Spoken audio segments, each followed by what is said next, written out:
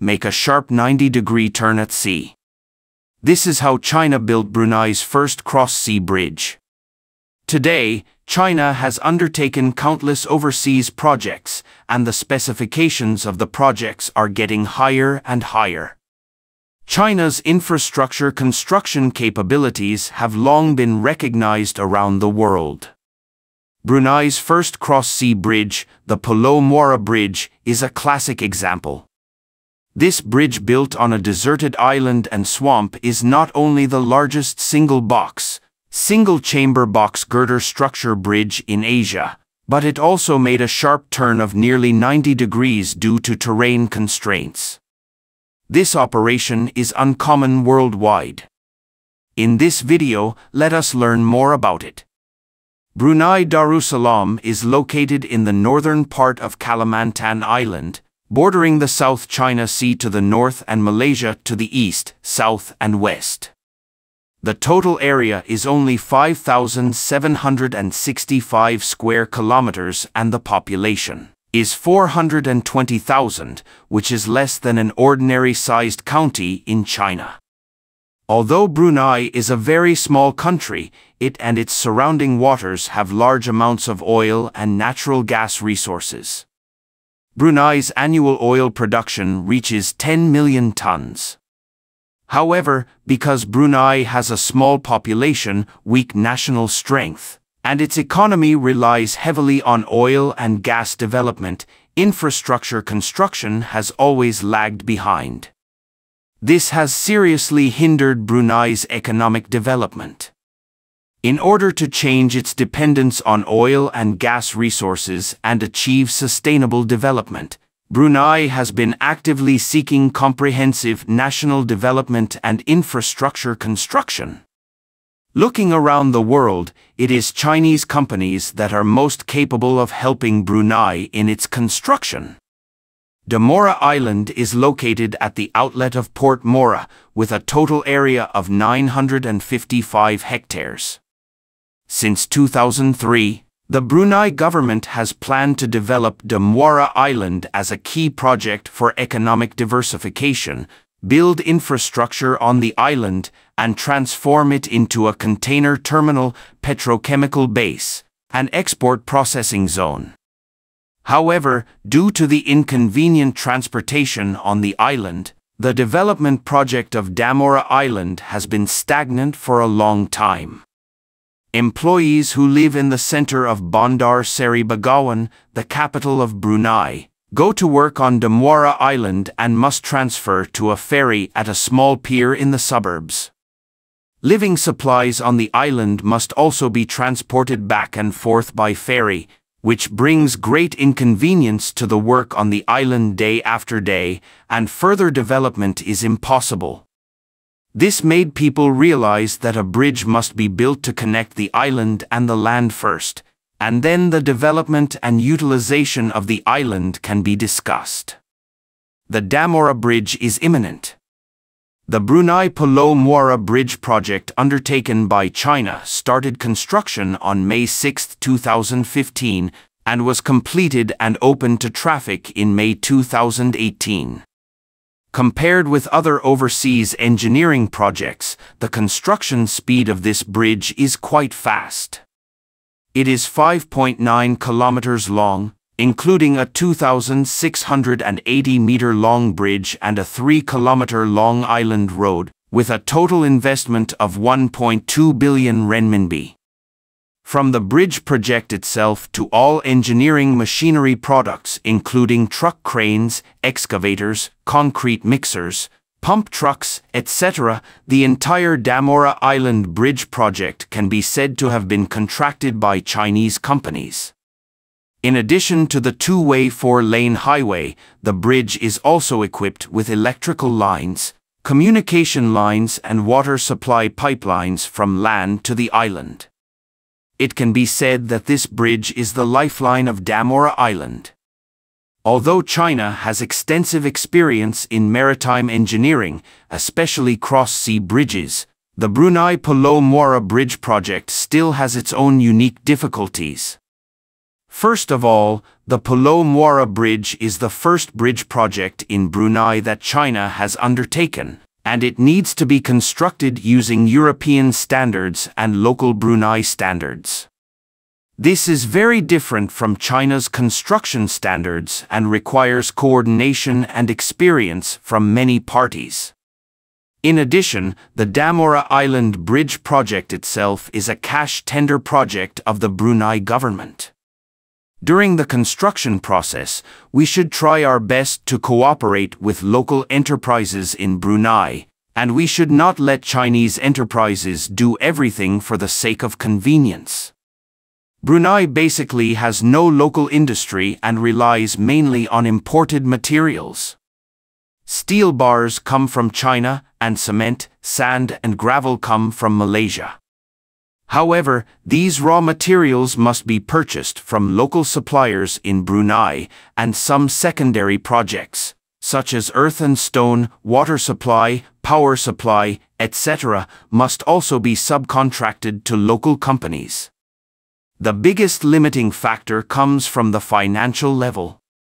Due to limited project funds, the owner has limited the size of the entire structure and the general basic design to a boundary condition, and the structural model of the bridge has been severely restricted. This is reflected in technology, which is a great test of the construction level of the construction party. The 5.9 kilometer cross-sea bridge and island highway project is not large in scale. However, considering the high cost of overseas engineering projects, the construction cost of the Damora Island Bridge is only 1.2 billion yuan. So how can the bridge be built while ensuring quality? This requires the correct selection of the structural form of the bridge. In China, the more familiar cross-sea bridge models are suspension bridges or cable-stayed bridges.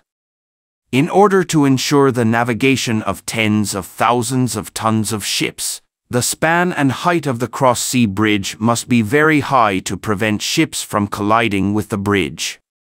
As a result, the main span of the bridge can easily reach thousands of meters. Only suspension bridges or cable-stayed bridges can withstand such spans. Both structural forms rely on steel cables outside the bridge deck for core stress. Although the construction cost is high due to rich engineering experience, the difficulty of construction is not high. The Pulau Muara Bridge in Brunei cannot adopt this mature but expensive structural form due to cost constraints. However, on the other hand, the Damora Island Bridge does not need to cross the main channel and it only needs to ensure the passage of ordinary ships under the bridge.